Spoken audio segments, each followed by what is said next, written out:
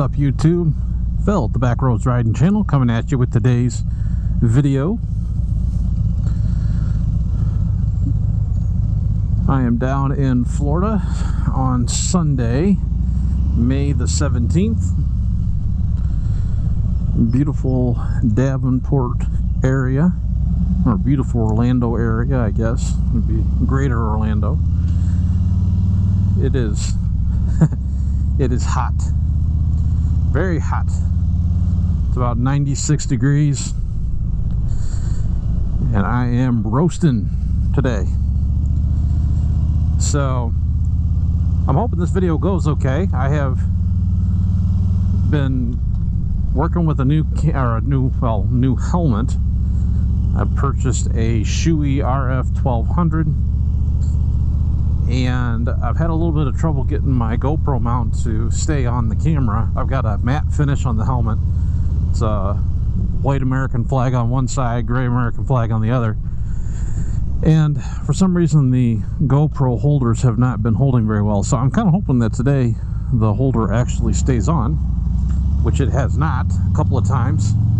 So hopefully it's attached a little better this time. The bad thing is, is I forgot my safety mount for my camera. so if it does come off, I won't be trying to catch it as it goes bouncing by me.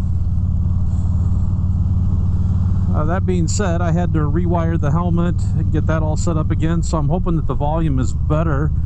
Uh, this helmet does have less wind noise. There is still some wind noise, but it definitely is better. And I've got a lot more airflow in this these Shoei helmets, uh, I got to tell you, are, are nice helmets. Uh, I've been very, very, very impressed with it. It's got a lot of uh, a lot of cushioning, fits very snugly to the face. Uh, you can just tell these are nice helmets. I did go ahead and spring a little bit for the uh, transition shield which down here is very nice because I don't ride at night uh, too often, but when I do, I'd always have to flip my shield up because on my HJC helmet that I had, I only had uh, just the regular uh, tinted visor.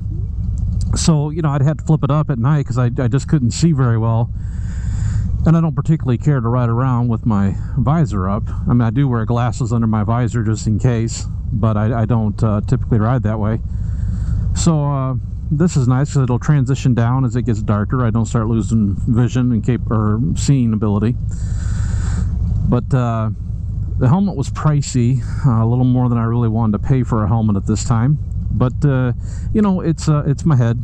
And the guy I was talking to at the motorcycle shop, we're looking at my helmet and looking at my expiration date on my helmet. And he was like, "Oh, this is kind of like having a styrofoam cup on your head."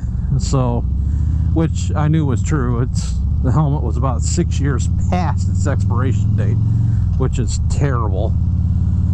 Uh, so I'm trying not to do that anymore. But I, I, want to go ahead and I, I, you know, I, when I first got, I've always just bought cheap helmets, just enough to get by.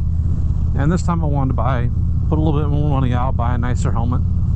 Uh, and uh, I'm pretty pleased with it. So I actually have the Road King back. Um, I'm just under 25,000, well, 24, just under 24,000 miles on the bike. I took it in for a 25,000 mile service and they came out and told me that I had a little oil leak uh, coming out of the head gasket. It wasn't bad though. And I'm like, okay, well, it's going to be, you know, $750 or something like that to replace it. So I asked him if it'd be okay to ride on it for a little bit. If I was careful, you know, didn't kill it or anything, and uh, said it should be fine. Uh, it's not leaking badly, and uh, we were going to try to get it through for the next 5,000 miles. Well, I, I took it out of the dealership, uh, rode it home that night, and then the next day I decided to go on about a 100 mile, 150 mile ride. And about halfway through that, maybe a little bit further than halfway, all of a sudden started smelling burning oil. Initially, I thought it was a car in front of me.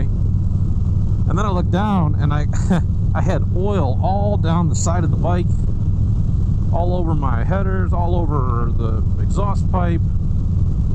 Uh, so I stopped and looked at it and it was just, it was spraying oil all down through there. so I, I got it back home and uh, took it to the dealership uh, a couple days after that.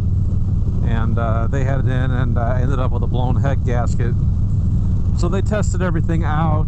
Uh, the dealership actually worked with me really well on it. Um, I did end up taking a little bit of a chance because I just didn't want to put the money into replacing the head. And they had done some checking on the the head to see what they thought. They, they felt fairly confident that the head was in good shape, that it wasn't warped. So I went ahead and took the chance and had them put it back together with a new head gasket with the same head. And so far, about 200 miles into the repair, uh, we're doing good. So I'm hoping that it stays that way. I did miss this bike because I, I really enjoy my Road King. It's a nice ride. But that is my second bit of news today. Uh, while I had this in the shop, uh, went ahead and pulled the trigger on the second bike I've been looking at getting. I've been around, going around for the last couple of months, riding uh, a bunch of different bikes, and I had narrowed my search down to uh, some of the smaller bikes. I, am looking for a, a bike more of an around town, just kind of fun bar hopping type bike, you know, back and forth, and nothing for touring. As the Road King fits that portion of my stable. And so uh, I've been looking at several of the Harleys I rode. I ended up settling down on a Harley uh, or an Iron 1200. I had ridden the 883. I took out the 1200, liked it. It was a little tight for me. I'm six feet tall, little little tight, but it was good to get back on a Sportster again. And then I also test rode the Softail Classic, which was a really nice bike. Uh, that 107 and that Softail frame is wow that's super super super nice. Uh, but I thought you know since I'm doing all this test riding I'm gonna go try the other manufacturers as well. And uh, so I went ahead and test rode a Indian Scout and an Indian Scout 60 and the Indian Scout Bobber. And I gotta tell you, I, I kind of fell in love with that bike. So uh, the bobber, I really like the bobber, but for me and my size, uh, well, you know, I'm six feet, 280 pounds, so I'm not the skinniest guy in the world. And uh, it was just, it, it, was, I was pretty crunched down on it. So if I got the bobber, I was gonna have to, I was gonna have to swap out the handlebars right off the bat and go with ape hangers uh, with ape hangers, I think the bike uh, could have probably worked pretty well for me, but I just didn't want to pay the extra $900 to get the handlebars replaced, you know, right off the bat. So it was down to the Scout or the Scout 60. Uh, took both of them out. The Scout obviously has got a little bit bigger engine. It's got the six-speed transmission, which was really nice. Uh, but for the deal that I got, I ended up going with the Scout 60. Uh, I number one, I liked the black, all blacked out look. That was really nice. Um, the Scout still has some chrome on it in different places.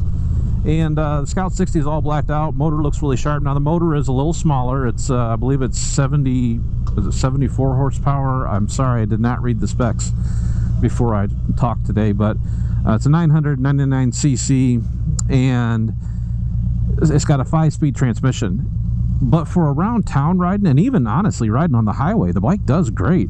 Uh, the only way you're really ever going to notice the difference between a scout 60 and a scout is if you ride them back to back.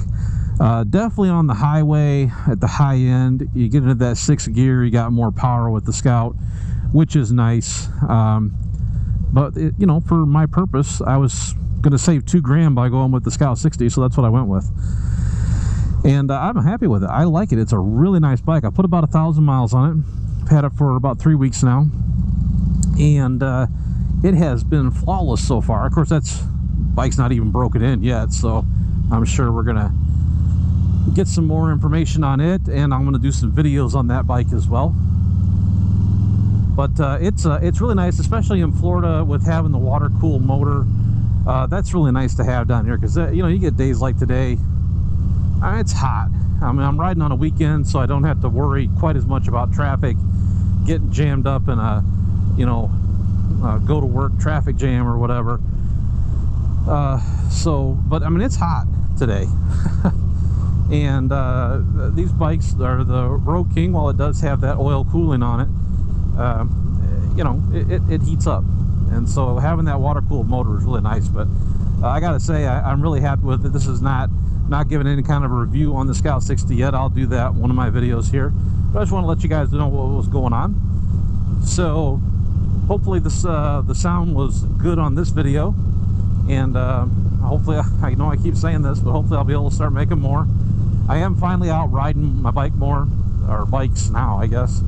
I'm definitely riding more, and uh, I've been able to put a few thousand miles on down here in Florida, and I'm getting a little more comfortable with the area and the